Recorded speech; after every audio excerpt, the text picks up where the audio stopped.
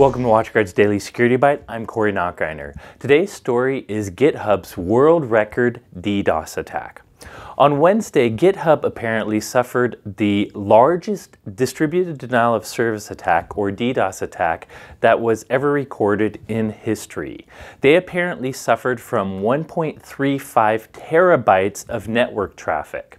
Now, this was apparently around 127 million packets a second.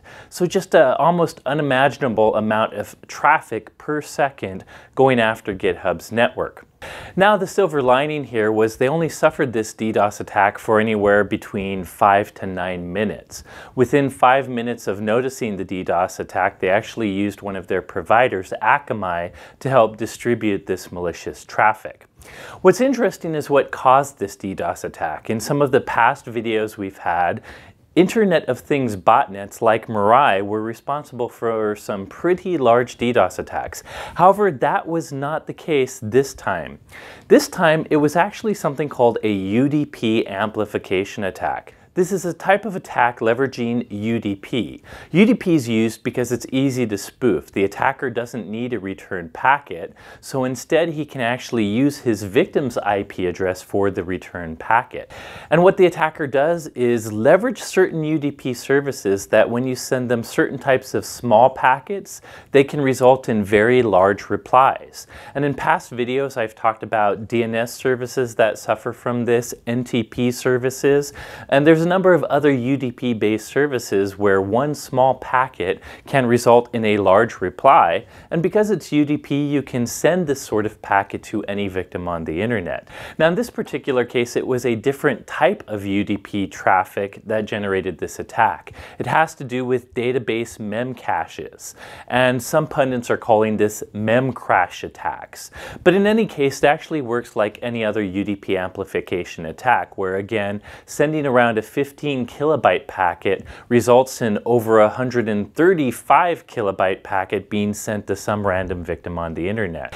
Now one thing I find interesting about this is this attack happened on Wednesday. However, US CERT, the Computer Emergency Response Team for the US, sent out a notification warning again about UDP amplification attacks. Now this was just a general notification listing all kinds of services that might suffer from UDP amplification attacks including DNS and NTP. But what was interesting was Memcache was listed at the end of this list the day before this attack happened to GitHub. So I suspect that other companies out there or other networks out there might be receiving these sort of memcrash attacks as well. So it is kind of interesting.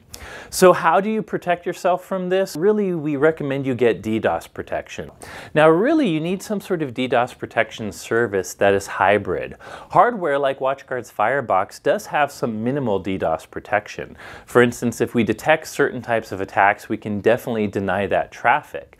But our hardware is only able to go up to a certain bandwidth. If you have hardware uh, capable of handling 40 gigabytes of traffic legitimately, if you got 1.35 terabytes of traffic, it would definitely DDoS your network. So really, normal DDoS protection or hybrid DDoS protection really need the help of some sort of upstream service provider like Akamai or other ISPs. In any case, if you feel like you might be a target of DDoS attacks, you should consider that sort of DDoS protection service. Other than that, if you manage any public services on the internet that use UDP, you should definitely look at US CERT's email about the different types of UDP amplification attacks and make sure your public uh, server is not contributing to the problem. Anyway, it's just interesting to see such a huge DDoS attack affect GitHub, even if for a short period of time, and interesting to see attackers continue to find ways to use different types of UDP amplification attacks.